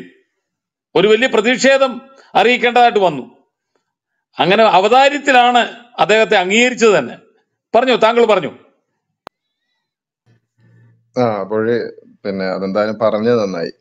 ചവറ കുര്യാക്കോസ് അച്ഛന്റെ കാര്യമൊക്കെ പറയുമ്പോഴേ അയ്യങ്കാളിനെയും കൂടി പറഞ്ഞ സ്ഥിതിക്ക് അയ്യങ്കാളിയൊക്കെ പുലയ കുഞ്ഞുങ്ങളുടെയോ അല്ലെങ്കിൽ അതിസ്ഥിത വിഭാഗത്തിന്റെയോ ഒക്കെ ആളുകൾക്ക് വേണ്ടിയിട്ട് വിദ്യാഭ്യാസ സൗകര്യത്തിന് ഇറങ്ങാൻ വേണ്ടി സമരത്തിന് ഇറങ്ങുമ്പോൾ അന്ന് കേരളത്തിലെ വിദ്യാഭ്യാസം നിയന്ത്രിച്ചിരുന്ന എൺപത് ശതമാനവും വിദ്യാഭ്യാസ സ്ഥാപനങ്ങൾ എൺപത് ശതമാനവും സഭകളുടെ കയ്യിലായിരുന്നു. ബാക്കി ഇരുപത് ശതമാനമാണ് വരേണ്യ ഹിന്ദു വിഭാഗത്തിന്റെ കയ്യിൽ ചുമ്മാ ചുമ്മാ ചുമ്മാ ചരിത്രമായിട്ട് ബന്ധമില്ലാത്ത കാര്യങ്ങൾ പറയരുത് കേട്ടോ. ചുമ്മാ ചരിത്രമായിട്ട് ബന്ധമില്ലാത്ത കാര്യങ്ങൾ പറയരുത്. നിങ്ങൾ തെളിവ് തന്നോ? എൺപത് ശതമാനം അന്നത്തെ സഭകളുടെ കയ്യിലല്ല എങ്കിൽ നിങ്ങൾ അതിന് തെളിവ് തന്നോ ഇരുപത് ശതമാനം ഹിന്ദു വരേണ്യരുടെ കയ്യിലല്ലെങ്കിൽ നിങ്ങൾ അതിന് തെളിവ് തന്നോ അത് അത് കൊടുത്തോട്ടം മാഷ് പറയും. കൊടുത്തോട്ടം മാഷ് പറയും. പറയട്ടെ. ആ എന്നാ ഞാൻ പറഞ്ഞോട്ടെ. അദ്ദേഹം പറഞ്ഞപ്പോഴും നിങ്ങൾ പറഞ്ഞപ്പോ ഞാൻ ഇടപെട്ടിട്ടില്ലല്ലോ. അപ്പൊ അയ്യങ്കാളിയൊക്കെ സമരത്തിന് ഇറങ്ങുമ്പോഴ് ഇവിടുത്തെ വിദ്യാഭ്യാസം അന്നും ഇന്നും നിയന്ത്രിച്ചിരുന്നത് അന്നത്തെ ഇന്നത്തെ സഭകളല്ലേ എസ് എം എൽ സഭയോ? നിങ്ങളൊന്ന് ചരിത്രം ഒന്ന് പഠിച്ചു നോക്ക്. എനിക്ക് ഓർക്കുന്നില്ല. വേണമെങ്കിൽ ഞാൻ കൃത്യമായിട്ട് ഡാറ്റ വെച്ചിട്ട് തന്നെ പറഞ്ഞുതരാം. എൺപത് എഴുപത്തഞ്ച് ശതമാനം മുതൽ എൺപത് ശതമാനം വരെ മിഷണറിമാരുടെ കയ്യിലായിരുന്നു. അവിടെ ക്രിസ്ത്യാനികൾക്ക് ഭൂരിപക്ഷം ഉള്ളതുകൊണ്ടാണോ അല്ല. അതാണ് ഞാൻ പറഞ്ഞത്. നവനാസ്തി ഈ സയനിസ്റ്റ് അധികാര രാഷ്ട്രീയമുണ്ട്. ബ്രിട്ടീഷുകാർ ഇന്ത്യയിൽ വരുമ്പോൾ എന്തുകൊണ്ടാ ഒരു പള്ളിയിലച്ചന്മാര് സ്വാതന്ത്ര്യ സമരവുമായി ബന്ധപ്പെട്ടില്ല സയനിസ്റ്റ് സയനിസ്റ്റ് എന്ന് പറയുന്ന അല്ലല്ല സമ്മതിക്കില്ല. സമ്മതിക്കില്ല. പൗലോ ഇടയ്ക്കല്ലേ പ്ലീസ് അദ്ദേഹം പറയട്ടെ. സയനിസ്റ്റ് എന്ന് പറയുന്ന വേർഡ് ഉപയോഗിക്കുന്നു. സയനിസ്റ്റും സയനിസ്റ്റും ഓക്കെ അല്ല എന്താ ബന്ധം. അദ്ദേഹത്തിന്റെ സ്വാതന്ത്ര്യമാണ് പറയട്ടെ. അദ്ദേഹത്തിന്റെ പൂർണ സ്വാതന്ത്ര്യമാണ് പറയട്ടെ. പക്ഷെ അദ്ദേഹം തന്നെ വടി വെട്ടി തരുന്നുണ്ട്. അത് കേൾക്കാൻ ഇവിടെ കാണുമല്ലോ. പറഞ്ഞോ. സയനിസ്റ്റ് രാഷ്ട്രീയം എന്ന് പറയുന്നത് ആയിരത്തി എണ്ണൂറ്റി എഴുപത് മുതൽ കൊടിത്തോട്ടം പറഞ്ഞതുപോലെ ഇപ്പൊ ആദ്യം അദ്ദേഹം കൊടിത്തോട്ടം പറഞ്ഞ എന്താണ് അവരുടെ പോയിട്ട് ഭൂമി വാങ്ങി. അവസാനം പറഞ്ഞപ്പോ അദ്ദേഹം പറഞ്ഞ എന്താണ് വെടിവെച്ചിട്ടും അക്രമത്തിലൂടെയാണ് ഇവിടെ ഉണ്ടാക്കിയത്. അങ്ങനെയല്ല എന്നല്ല പറഞ്ഞത്. രണ്ടറ്റത്ത് നിന്നാണ് അദ്ദേഹം തന്നെ സംസാരിക്കുന്നത്. തീർത്തും വൈരുദ്ധ്യമായിട്ടാണ് അത് പോട്ടെ. ഞാൻ ഇവിടെ അയ്യങ്കാളിയൊക്കെ സമരത്തിന് ഇറങ്ങിയ കാലഘട്ടത്തിൽ കേരളത്തിലെ വിദ്യാഭ്യാസത്തിന്റെ എൺപത് ശതമാനവും കൈകാര്യം ചെയ്തിരുന്നത് അന്നത്തെ മിഷണറിമാരായിരുന്നു. സഭകളായിരുന്നു.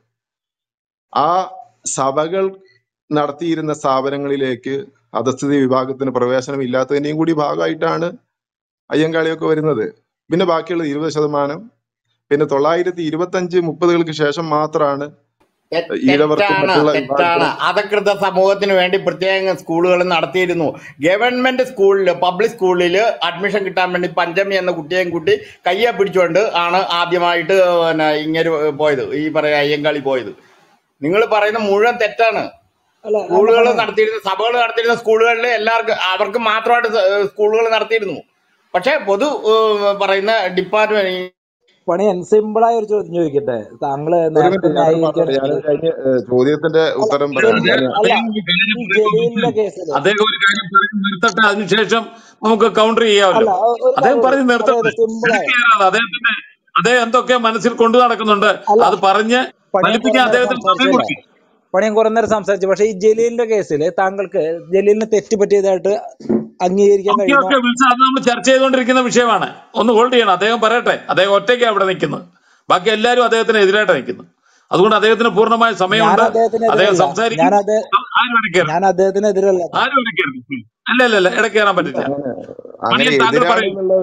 എതിരാണെന്നുള്ള ഒരു അഭിപ്രായം എനിക്കില്ല. നമ്മൾ രണ്ട് അഭിപ്രായമുള്ളവരാണ് അത്രേ ഉള്ളൂ. അത് എതിര് നിൽക്കുന്ന കാര്യം എന്താണ്? മാസ്റ്റർ ആയാലും കൊടുത്തോട്ടായാലും പൗലായാലും എന്റെ എതിരാണെന്നല്ല. നമ്മൾ അഭിപ്രായത്തിൽ രണ്ടറ്റത്ത് നിൽക്കുന്നവരാണ്. ഞാൻ നേരത്തെ തന്നെ പറഞ്ഞല്ലോ നിങ്ങൾ വലതുപക്ഷമാണ് ഞാൻ അങ്ങനെയല്ല. അപ്പോ ഞാൻ പറഞ്ഞു വെക്കുന്നത് ഇവിടെ അയ്യങ്കാളി ഉൾപ്പെടെയുള്ള ആളുകളുടെ സമരത്തിന് ഇറങ്ങൽ പോലും ഈ പറഞ്ഞ ഈ സയനിസ്റ്റ് അധികാര രാഷ്ട്രീയവുമായി ബന്ധപ്പെട്ടിട്ട് ക്രിസ്ത്യൻ സമൂഹം എടുത്തിട്ടുള്ള ക്രിസ്ത്യൻ എന്ന് പറഞ്ഞ് എടുത്തിട്ടുള്ള ഒരു നിലപാടിന്റെ ഭാഗമായിട്ടുള്ള സമരം കൂടിയിട്ട് അതിനകത്ത് ലക്ഷ്യമുണ്ട്. അത് അമ്പത്തി ഒൻപതര സർക്കാരിനെ വീഴ്ത്തിയതിനകത്തും അതുണ്ട്.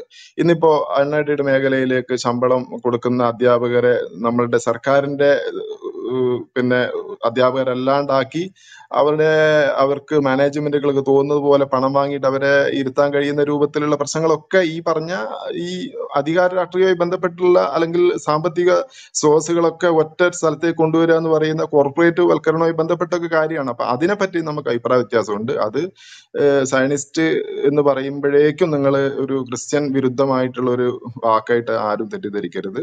അത് ഇന്ത്യയുടെയും ലോകത്തിന്റെയും ചരിത്രത്തിൽ അതെല്ലാ വിഭാഗങ്ങളിലുണ്ട്. ഹിന്ദു വിഭാഗത്തിലും മുസ്ലിം വിഭാഗത്തിലും ഒക്കെ ഉണ്ട്.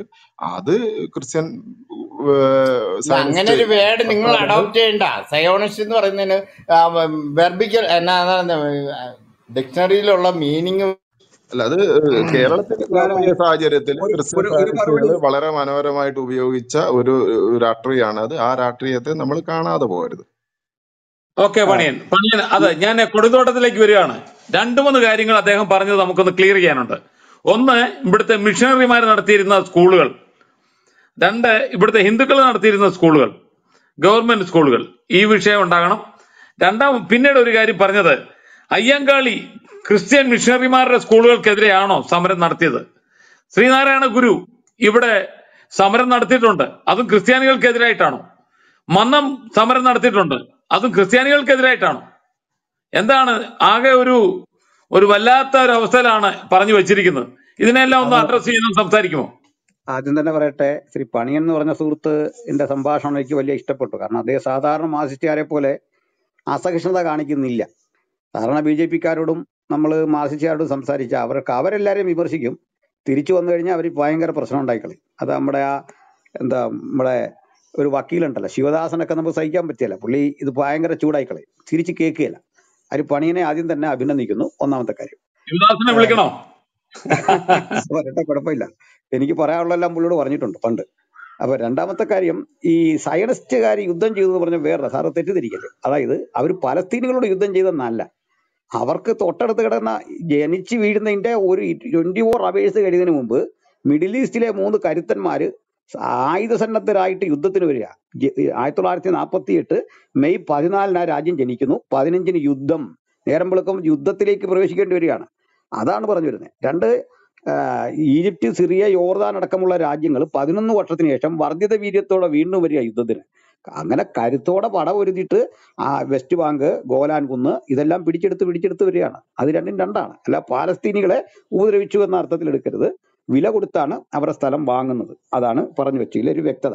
രണ്ടാമത്തെ കാര്യം നമുക്ക് കേരളത്തിലേക്ക് തന്നെ വരാം. ഈ സയനിസ്റ്റ് എന്ന് പറയുന്നതിനകത്ത് നമുക്ക് പൊള്ളേണ്ട കാര്യമില്ല. എന്നെ ഒരാൾ സയനിസ്റ്റ് എന്ന് വിളിച്ചാൽ ഞാൻ അഭിമാനത്തോടെ അത് കേൾക്കത്തേ ഉള്ളൂ തീർച്ചയായിട്ടും സയനിസ്റ്റുകളുടെ വാദത്തിൽ കഴമ്പുണ്ടെന്നും പാലസ്തീനികളുടെ പിന്നിലെ മുസ്ലിം ബ്രദർഹുഡ് നടത്തിക്കൊണ്ടിരിക്കുന്നത് ഭീകരവാദമാണെന്നും യാത്ര രാഭാഗത്ത് സമ്പത്തുണ്ടാക്കാൻ അവരെ ഇരയാക്കുകയാണെന്നും ഇവിടുത്തെ ഇടതുപക്ഷക്കാരുടെ നിരീക്ഷണം തെറ്റാണെന്നുമാണ് അക്കാര്യത്തിൽ പലയാവർത്തി ഈ രാജ്യങ്ങളിൽ പോയിട്ടുള്ള ഒരാളെന്നുള്ള നിലയിൽ അവൾ കണ്ട കാര്യങ്ങളെയും അവിടുത്തെ രാഷ്ട്രീയത്തെയും വിലയിരുത്തുന്ന ഒരാളെന്നുള്ള നിലയിൽ എന്റെ അഭിപ്രായം. അതവിടെ നിൽക്കട്ടെ. അഭിപ്രായ വ്യത്യാസം വരാം അതിന് പ്രശ്നമില്ല. അടുത്തത് അയ്യങ്കാളിയുടെ കാലഘട്ടത്തിൽ വിദ്യാഭ്യാസ സ്ഥാപനങ്ങൾ ക്രൈസ്തവരുടെ പക്കലായിരുന്നു. അതിൽ സംശയമൊന്നുമില്ല. ക്രൈസ്തവരുടെ പക്കലാണ് ഇന്നും വിദ്യാഭ്യാസ സ്ഥാപനങ്ങൾ ഭൂരിപക്ഷം ഉള്ളത് ഇപ്പൊ എം ഇ എസ് ഒക്കെ വന്നോണ്ട് അതിന് കുറെ മാറ്റമുണ്ട്. നല്ലത്. അവരൊക്കെ വരട്ടെ. എല്ലാവരും വരണം. ആ ഭാഗത്തേക്ക് വരണം. എന്നാൽ ഈ ആയിരത്തി തൊള്ളായിരത്തി പതിനാറിലാണ് ശരിക്കും കോട്ടയത്ത് സി എം എസ് സ്കൂൾ ഉണ്ടാകുന്നത്. ഈ സി എം എസ് കോളേജ് ഉണ്ടാകുന്നത്. കോളേജ് പോട്ടെ സ്കൂൾ പോട്ടെ. സ്കൂൾ അതിനു മുമ്പേ ആരംഭിച്ചിട്ടുണ്ട് ചെറിയ രീതിയിൽ. അത് കോളേജായിട്ട് ഡെവലപ്പ് ചെയ്ത് നമുക്കന്ന് പഠിപ്പിക്കാൻ പുസ്തകം ഇല്ലാഞ്ഞിട്ട് മദ്രാസ് സർവകലാശാലയിൽ നിന്നൊക്കെ ഉള്ള പുസ്തകങ്ങൾ വരുത്തിയാണ് പഠിച്ചുകൊണ്ടിരുന്നത് അതിലെ രസാവകമായ ഒരു കാര്യം പഠിപ്പിക്കാൻ കൊള്ളാത്തൊരു പുസ്തകം ഒന്ന് പഠിപ്പിക്കേണ്ടി വന്നു. കാരണം ഭയങ്കര ഹിന്ദുമത വിമർശനമുള്ള ഒരു കൃതി അക്കാലഘട്ടത്തിൽ അന്നത്തെ കോട്ടയം കളക്ടർ ആയിരുന്ന പിൽക്കാലത്ത് നായർ സമൂഹം വിട്ട് ക്രിസ്ത്യാനിറ്റിയെ സ്വീ- സ്വീകരിച്ചിരുന്ന ഒരു മേനവൻ എഴുതിയിട്ടുണ്ട്. അപ്പോൾ ചാത്തുമേനോൻ ആ പുസ്തകം പോലും അദ്ദേഹത്തിന്റെ ജീവചരിത്രമാണ്. കാരണം മലയാളത്തിൽ ഇവരെ ഒന്ന് പഠിപ്പിക്കാൻ പുസ്തകമില്ല. അതുപോലും സർക്കാർ അംഗീകൃതമായിട്ട് പഠിപ്പിക്കേണ്ടി വന്നിട്ടുണ്ട്. ആയിരത്തി തൊള്ളായിരത്തി പതി പതിനാറിൽ സി എം എസ് കോളേജ് തുടങ്ങിയ ശേഷം ഇരുപത് കൊല്ലം കൂടി കഴിഞ്ഞാണ് മഹാരാജാവ് ഇന്നത്തെ കാര്യവട്ടം കേരള സർവകലാശാലയുടെ പ്രാക്തന രൂപത്തിന് തറക്കല്ലിടുന്നത് അതിനു മുമ്പാണ്. ആരായിരുന്നു ഈ സി എം എസ് കോളേജിലെ ഉൽപ്പന്നങ്ങൾ എന്ന് പഠിച്ചാൽ മതി. അവിടെ പഠിച്ചിട്ട് പോയ ആളാണ് ഇന്ത്യയുടെ രാഷ്ട്രപതിയായിരുന്ന ശ്രീ കെ ആർ നാരായണൻ. അദ്ദേഹത്തിന്റെ കമ്മ്യൂണിറ്റി അറിയാമല്ലോ? അവിടെ പഠിച്ചവരെ ഓരോരുത്തരെ എടുക്കുക. അവരുടെ ആദ്യകാലം എടുത്ത് നോക്കുക. ആദിവാസികൾക്കും ദലിതർക്കും കൃത്യമായ വിദ്യാഭ്യാസം മിഷണറി പരിവർത്തനങ്ങളിലൂടെയാണ് കേരളത്തിൽ ലഭിച്ചിട്ടുള്ളത്. അതിനി എണ്ണി എണ്ണി ഓരോന്നും പറയാം. ലോർഡ് മെക്കോളയുടെ സോറി മറ്റേ കേണൽ മൺട്രോയുടെ ശ്രമഫലമായിട്ടാണ് ഈഴവ സമൂഹം വിദ്യാഭ്യാസ പരിഗണനകളൊക്കെ ഉണ്ടായത്. മൺട്രോ തുരുത്തം എന്ന് പറയുന്ന ഒരു സ്ഥലം പോലും ഉണ്ട് അവിടേക്കുള്ള സ്ഥലങ്ങൾ മൺട്രോ വാങ്ങിയിട്ട് ഫ്രീ ആയിട്ട് ഇവർക്ക് കൊടുക്കായിരുന്നു. ഉടമകളുടെ കയ്യിൽ നിന്ന് വാങ്ങിയിട്ട് ഫ്രീ ആയിട്ട് ഈഴവ സമൂഹത്തിനൊക്കെ കൊടുക്കുകയായിരുന്നു. ഇനി മാവേലിക്കരയുടെ ചരിത്രം എന്താണ്? ബിഷപ്പ് മൂർ അദ്ദേഹത്തിന്റെ നേതൃത്വത്തിലുള്ള ബിഷപ്പ് മൂർ കോളേജിന്റെ പ്രത്യേകത എന്താണ്? അതൊക്കെ സ്വാതന്ത്ര്യം കിട്ടുന്നതിന് മുമ്പ് നമ്മുടെ രാജ്യത്തുള്ള സ്ഥാപനങ്ങളാണ്. ഈ സ്ഥാപനങ്ങളിലൊക്കെ പഠിച്ച് ഉന്നത നിലവാരത്തിലെത്തിയ ആളുകൾ നമ്മുടെ കൺമുമ്പിൽ ഇരിക്കെ താങ്കൾ എന്താണ് പറയുന്നത്? അടുത്തത് അയ്യങ്കാളി ക്രൈസ്തവരുമായി കലയിച്ചിട്ടില്ല അയ്യങ്കാളിയുടെ മെന്ററുടെ പേര് ഓർക്കണം. അയ്യങ്കാളിയുടെ മെന്ററുടെ പേര് തോമസ് വാദ്യാർ എന്നായിരുന്നു തോമസ് വാദ്യാരാണ് ഇദ്ദേഹത്തെ അക്ഷരം പഠിപ്പിക്കുന്നത്. ഈ തോമസ് വാദ്യാർ ഒരു പരിവർത്തിത ക്രിസ്ത്യാനിയായിരുന്നു. നോക്കണം അന്നത്തെ പരിവർത്തിത ക്രിസ്ത്യാനിയിൽ വാദ്യാരുണ്ട് എന്ന് മനസ്സിലാക്കണം. അപ്പം തോമസ് വാദ്യാരുടെ കീഴിലാണ് ഇദ്ദേഹം പഠിക്കുന്നത്. അക്കാര്യം മനസ്സിലാക്കാതെ പോകരുത്. അപ്പോൾ പരിവർത്തിത ക്രിസ്ത്യാനിക്കിടയ്ക്ക് മാഷുണ്ട് വാദ്യാരുണ്ട് ആ കാലഘട്ടത്തിൽ. കാരണം അത് രാജാവിന്റെ മതം സ്വീകരിച്ചു. അതൊക്കെ കൊണ്ടാണ്. അതായത് രാജാവിന്റെ അല്ലെങ്കിൽ ബ്രിട്ടീഷ് രാജ്ഞിയുടെ മതമായതുകൊണ്ട് ആ മതം സ്വീകരിച്ചവർക്ക് അന്ന് വസ്ത്രമൊക്കെ ധരിച്ച് പൊതുവിൽ ഇറങ്ങാം. പിന്നീടാണ് ആഭ്യന്തരമായ പ്രശ്നങ്ങളൊക്കെ ഉണ്ടായിട്ടുണ്ട്. അത് ഞാൻ സമ്മതിക്കുന്നു. അത്തരം വിഷയങ്ങൾ ക്രൈസ്തവർക്കിടയിൽ വിവേചനങ്ങൾ ഉണ്ടായിട്ടുണ്ട്. പക്ഷെ മൊത്തത്തിലെടുത്താൽ അന്നത്തെ ക്രൈസ്തവ സോറി ദലിത് ഹിന്ദുവിന്റെയും ദലിത് ക്രൈസ്തവന്റെയും അവസ്ഥ രണ്ടായിരുന്നു. ഒത്തിരി മുകളിലായിരുന്നു ദലിത് ക്രൈസ്തവന്റെ അന്നത്തെ ജീവിതം. അവരുടെ അവകാശങ്ങളൊക്കെ എടുത്തു കളഞ്ഞത് പ്രസിഡൻഷ്യൽ ആക്ടിലൂടെ പിന്നീട് വന്ന കോൺഗ്രസ് ഭരണകൂടം ദേശീയ നേതൃത്വത്തിൽ അത് എടുത്തു കളഞ്ഞു. അങ്ങനെയൊക്കെയുള്ള കാര്യങ്ങളുണ്ട്. ഇനി അതവിടെ നിൽക്കട്ടെ. ഇവിടെ ഈ ബഹുമാനപ്പെട്ട അയ്യങ്കാളി എന്ന് പറയുന്ന ആളിന് മഹാരാജാവിന്റെ അടുത്ത് പോകാൻ വേണ്ടിയുള്ള വസ്ത്രം. നിങ്ങൾ കണ്ടാകും അയ്യങ്കാളിയുടെ വസ്ത്രം ഒരു കോട്ടും ഒരു മുണ്ടുമാണ്. കോട്ടും മുണ്ടും സാധാരണ ആരും ധരിക്കില്ല. അതിന്റെ കാരണം എന്താണെന്ന് വെച്ചാൽ അത് രണ്ടുകൂടെ ചേർച്ചയുള്ള കാര്യമല്ല. തലപ്പാവ് കൊച്ചു നിൽക്കുന്ന അയ്യങ്കാളിയെ നിങ്ങൾ ആ ചിത്രത്തിൽ കാണണം. ഒരു നമ്മൾ ഇന്ന് നോക്കിയാൽ അത് ഒരു ഇതായിട്ട് തോന്നും. കാരണം മുണ്ട് ധരിച്ചിരിക്കുന്നു കോട്ട് മീതെ ഇട്ടിരിക്കുന്നു. ഇതെങ്ങനെ വന്നാണെന്ന് മനസ്സിലാക്കണം. ഈ അന്ന് അയ്യങ്കാളിയെ രാജാവിന്റെ മുമ്പിലേക്ക് കൊണ്ടുപോകാൻ ബ്രൈമൂർ എന്ന് പറയുന്ന സായിപ്പ് നമുക്കറിയാം തിരുവനന്തപുരത്തുള്ള ബ്രൈമൂർ എസ്റ്റേറ്റ് ഒക്കെ അറിയാം. ഇദ്ദേഹം വന്നിട്ട് പറയാണ് നീ എന്റെ കൂടെ ഞാൻ തരുന്ന വസ്ത്രം ഉപയോഗിച്ചുകൊണ്ട് വരണം. ഞാൻ തരുന്ന തലപ്പാവ് വെക്കണം. ഇതും വെച്ച് ചെന്ന് കഴിഞ്ഞാൽ അവിടെ രാജ്ഞിയുടെ മുദ്രയുണ്ട്. രാജാവ് നിന്റെ മുമ്പിൽ എങ്ങനെ പെരുമാറുമെന്ന് കണ്ടോണം. അപ്പൊ ഇത് രണ്ടും ധരിച്ച് ഇവർ രണ്ടും കൂടെ കയറി ചെല്ലുമ്പോൾ രാജാവിന് എണ്ണീക്കാതിരിക്കാൻ പറ്റാവുന്നു. അപ്പൊ പറഞ്ഞു എന്തുകൊണ്ടാണ് രാജാവ് എണ്ണീറ്റെന്ന് മനസ്സിലായോ? നീ ധരിച്ച ആ തലപ്പാവിൽ രാജ്ഞിയുടെ മുദ്രയുണ്ട്. അത് കണ്ടാൽ ലോകം കൊണ്ടാണ് രാജാവ് എഴുന്നേറ്റ് നിനക്ക് ഇരിപ്പിടം തന്നത്. അപ്പൊ വിമോചനത്തിന്റെ വഴി അദ്ദേഹം പഠിച്ച അങ്ങനെയാണ്. അങ്ങനെയാണ് അദ്ദേഹം പറയുന്നത് എന്റെ കമ്മ്യൂണിറ്റിയിൽ നിന്ന് നൂറ് ബി എക്കാരുണ്ടായിട്ട് എനിക്കത് കണ്ടിട്ട് മരിച്ചാൽ മതി എന്നാണ് അദ്ദേഹം പ്രാർത്ഥിച്ചത് ആഗ്രഹിച്ചത്. കാരണം വിദ്യാഭ്യാസം ഇമ്പോർട്ടന്റ് ആണ്. പക്ഷെ ഒരു കാര്യം അറിയണം അന്ന് പൊതുവിദ്യാഭ്യാസം എല്ലാവർക്കും സ്വീകാര്യമാണെന്ന ഉത്തരവ് ചക്രവർത്തി രാജാവ് ഇട്ടിട്ട് വർഷങ്ങളായി. എട്ട് വർഷം ഈ അധികാരത്തിന്റെ ഇത്തരം അവിടെ പോയി പഠിക്കാമെന്നുള്ള ഉത്തരവ് ഈ കോട്ടിന്റെ പോക്കറ്റിൽ കിടപ്പുണ്ട് അയ്യങ്കാളുടെ പോക്കറ്റിൽ കിടപ്പുണ്ട്. പക്ഷെ പഠിക്കാനുള്ള അവസരം കിട്ടുന്നില്ല. ആ അവസരത്തിനെതിരെയാണ് മുമ്പ് ഇവിടെ സുഹൃത്ത് പറഞ്ഞ പോലെ പഞ്ചമിയെ കൊണ്ടുവന്നിട്ട് ബലമായിട്ട് പബ്ലിക് സ്കൂളിൽ ഇരുത്തി. പബ്ലിക് സ്കൂളിൽ ബലമായിട്ട് ഇരിക്കുമ്പോൾ ഒരു ചാക്കയിൽ ഇരിക്കണം എന്നായിരുന്നു ആദ്യം കിട്ടിയത് പക്ഷെ അയ്യങ്കാളി ബലമായിട്ട് പിടിച്ച ഈ പെങ്കൊച്ചിനെ പിടിച്ച് ഈ ബെഞ്ചിൽ തന്നെ ഇരുത്തി. ഇരുത്തിയ വാർത്ത അറിഞ്ഞിട്ട് നമ്മളുടെ പുല്ലാടുള്ള ഒരു നായർ അന്ന് ബോധം കെട്ട് വീണിട്ട് അയാൾ പിന്നെ എഴുന്നേറ്റിട്ടില്ല. അയാൾക്ക് നടുവിന് ഇതായിപ്പോയി പോയി പാരലൈസ് ആയിപ്പോയി പോയി അങ്ങനെ ആയിപ്പോയി. അത്രമാത്രം ഭീകരമായ ഒരു നാടാണ് നമ്മുടെ. അപ്പൊ ഈ പരിസ്ഥിതി കൃത്യമായിട്ട് ഇവരെ പഠിക്കാതെ പറയുന്നതാണ്. കാര്യങ്ങൾ അങ്ങ് പഠിച്ചില്ലെന്നൊന്നുമല്ല അത് മാർസിസ്റ്റ് വ്യാഖ്യാനം എന്ന് പറയുന്നത് അവശ സമൂഹങ്ങളെ പാവപ്പെട്ടവനെയൊക്കെ ഉദ്ധരിച്ചത് സി പി എം ആണ് എന്ന് വരുത്തി തീർക്കാൻ അവരൊരു ശ്രമം നടത്തുന്നുണ്ട്. ആ ശ്രമത്തിന്റെ ഉള്ള ഉള്ളടക്കമില്ലായ്മ കൂടി പൊതുസമൂഹം മനസ്സിലാക്കണം. ക്രിസ്ത്യാനിറ്റി ഉണ്ടായിരുന്നില്ലെങ്കിൽ വിദ്യാഭ്യാസം ആ സമൂഹത്തിന് കിട്ടുമായിരുന്നില്ല. മിഷണറി വിദ്യാഭ്യാസം വരേണ്യവർഗം കൊണ്ട് ഒതുങ്ങുകയല്ല ചെയ്തത്. ഇനി ഒന്നുകൂടെ ഞാൻ അങ്ങ് തുറന്നു പറഞ്ഞേക്കാം. നമ്മുടെ കോട്ടയത്ത് സി എം എസ് പോലെയുള്ള സ്ഥാപനങ്ങൾ വന്ന ശേഷം അവിടെ പഠിച്ച് ഇന്ന് ഈ നമ്മുടെ എം പി ആയിട്ട് വരെ ഇരിക്കുന്ന ആളുകളുണ്ട്. ക്രൈസ്തവരുടെ ലേബലിലാണ് ഇരിക്കുന്നത്. പക്ഷെ കൃത്യമായിട്ടുള്ള ആദിവാസി പശ്ചാത്തലത്തിൽ നിന്ന് അരയ പശ്ചാത്തലത്തിൽ നിന്ന് അങ്ങനെ മാസ സ്റ്റൈവിന്റെ ഒക്കെ മേടിക്കുന്ന ആളുകൾ ഇന്ന് നമ്മുടെ എം പിമാരായിട്ടുണ്ട് കാരണം അവർ മുഖ്യധാരയിൽ ലയിച്ചു ചേർന്നപ്പോൾ ഇത്തരം കാസ്റ്റിന്റെ ഡിസ്ക്രിമിനേഷൻ ഒന്നും ഇല്ലാതെ പോയി. അവരങ്ങനെ വളർന്നിട്ടുണ്ട്. ഇന്നും നമ്മുടെ നാട്ടിൽ നിന്ന് അത്തരം എം പിമാര് അവിടെ പോയി ഇരിപ്പുണ്ട് ഞാൻ അവരെ സൈഡ് ലൈൻ ചെയ്യോ കോർണർ ചെയ്യോ അല്ല. മറിച്ച് അത്തരത്തിൽ വളർന്നവരുണ്ട് എന്നുകൂടി മനസ്സിലാക്കണം. ഇതേ സമയത്ത് ഈ സി പോലെയുള്ള പരിഷ്കൃതവാദികളായ പാർട്ടിക്കാര് എത്ര ആളുകളെ പൊതുമണ്ഡലങ്ങളിലേക്ക് പ്രൊഡ്യൂസ് ചെയ്തിട്ടുണ്ട്? ജനകീയമായൊരു മുഖത്തോടെ എത്ര പേരെ പ്രൊഡ്യൂസ് ചെയ്തിട്ടുണ്ട്? നിങ്ങൾ കെ കെ ബാലന്മാരും രാധാകൃഷ്ണന്മാരും ഒക്കെ മാത്രമേ ഉണ്ടാകുന്നുള്ളൂ. ആ പരിമിതി കൂടി മനസ്സിലാക്കണം. നിങ്ങൾക്ക് നിങ്ങൾക്കിടയിൽ നിന്ന് ഒരു നേതാവ് ഉണ്ടാകുന്നില്ല. ഉണ്ടാകുന്നത് ദലിതർക്കിടയിൽ നിന്നോ ആദിവാസിക്കിടയിൽ നിന്നോ നിങ്ങൾക്കിടയിൽ നിന്നോ ഒരു ലീഡർ തലയുയർത്തി വരുന്നില്ല. അതെന്താണ് നിങ്ങൾ പഠിച്ചിട്ടുണ്ടോ? എഴുപത്തഞ്ച് വർഷത്തെ നിങ്ങളുടെ ചരിത്രത്തിൽ എന്തുകൊണ്ടൊരു ലീഡർ സംവരണ മണ്ഡലത്തിലൂടെ അല്ലാതെ നിങ്ങൾക്ക് ഉൽപ്പാദിപ്പിച്ചെടുക്കാൻ കഴിയുന്നില്ല. ഇനി അതവിടെ നിൽക്കട്ടെ. നിങ്ങൾക്ക് എന്തുകൊണ്ട് ഒരു സ്ത്രീ ലീഡറെ ഈ രീതിയിൽ ഉൽപ്പാദിപ്പിച്ച് നിങ്ങളുടെ പോളിറ്റ് ബ്യൂറോയിൽ ഒന്നും എത്തിക്കാൻ സാധിച്ചില്ല. വൃന്ദാക്കാരാട്ടിനും ഇപ്പോൾ ഒരു പുതിയ ലേഡി ഉണ്ട്. ശേഷം വന്നിട്ടില്ല. ഒരു കാലഘട്ടത്തിൽ നിങ്ങളുടെ പോളിറ്റ് ബ്യൂറോയൊക്കെ അംബേദ്കർ അഭിസംബോധന ചെയ്ത് ബ്രാഹ്മൺ ഗെയ്സ് എന്നായിരുന്നു. അതിന്റെ കാരണം ബ്രാഹ്മണാധിപത്യത്തിന്റെ ഒരു കീഴിൽ മാത്രമായിരുന്നു അത് പ്രവർത്തിച്ചുകൊണ്ടിരുന്നത്. വി എസും ഒക്കെ വന്ന ശേഷം അതിന് മാറ്റം ഉണ്ടായി. ഇപ്പൊ പിണറായിലൂടെ ഒക്കെ അതിന് മാറ്റം ഉണ്ടായിട്ടുണ്ട്. പക്ഷെങ്കിൽ ബേബിയെ പോലെ ഒരാൾക്ക് അവിടെ വരാൻ എത്ര കാലഘട്ടം എടുത്തു എന്നുള്ളത് എം എ ബേബിയെ പോലെ ഒരാൾക്ക് അവിടെ എത്താൻ എത്ര കാലഘട്ടം എടുത്തു. ചുരുക്കി പറഞ്ഞാൽ സി പി എം ഒരു സവർണ വർഗീയ ഫാസിസ്റ്റ് ബോധത്തോടെയാണ് ഈ കാലം വരെ ഇവിടെ പ്രവർത്തിച്ചിട്ടുള്ളത്. അല്ലാതെ സാധാരണ മനുഷ്യന്റെ പുരോഗതിക്ക് വേണ്ടി അത് പ്രവർത്തിച്ചു എന്നുള്ളത് മുദ്രാവാക്യങ്ങളിലാണ്. നമ്മൾ കൊയ്യും വയലെല്ലാം നമ്മുടേതാകും എന്ന് പറഞ്ഞു ആർക്കായി നോക്കിയാൽ മതി. നിങ്ങളുടെ പ്രസിദ്ധമായ ഒരു പാട്ടുണ്ട്. ഭൂപടങ്ങളിൽ ഒരു ഇന്ത്യ വിടർന്നു ജീവിതങ്ങൾ തുടൽ ഉരിയെറിഞ്ഞു അതിനകത്ത് ഒരു പാട്ട് ഓയൻവീടെയാന്ന് തോന്നുന്നു. അവസാനം പറയുന്നത് വിടർന്ന് താമര മുകുളങ്ങൾ. അന്ന് നിങ്ങൾ പാടിയ താമര ഇപ്പൊ അങ്ങ് ഡൽഹിയിൽ വിടർന്ന് നിപ്പുണ്ട്. ഒരു കുഴപ്പമില്ലാതെ എനിക്കതാണ് സി പി എമ്മിനെ പറ്റിയുള്ള ഒരു എന്റെ നിരീക്ഷണം എന്റെ പഠനം. ഓക്കെ ഞാൻ നിർത്തി.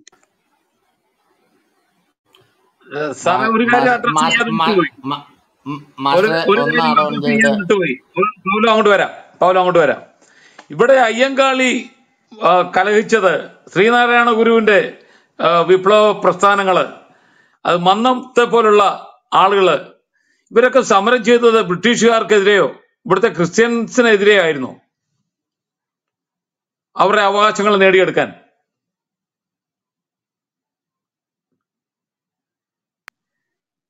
സാർ എനിക്ക് സന്യാസം തന്നത് എനിക്ക് സന്യാസ ദീക്ഷ തന്നത് ബ്രിട്ടീഷുകാരാണെന്ന് പറഞ്ഞ ആളാണ് നാരായണ ഗുരു എനിക്ക് സന്യാസം തന്നത് എന്നെ സന്യാസി അക്കിയത് ബ്രിട്ടീഷുകാരാണ്. ഇത് പറഞ്ഞ ആളാണ് അദ്ദേഹം.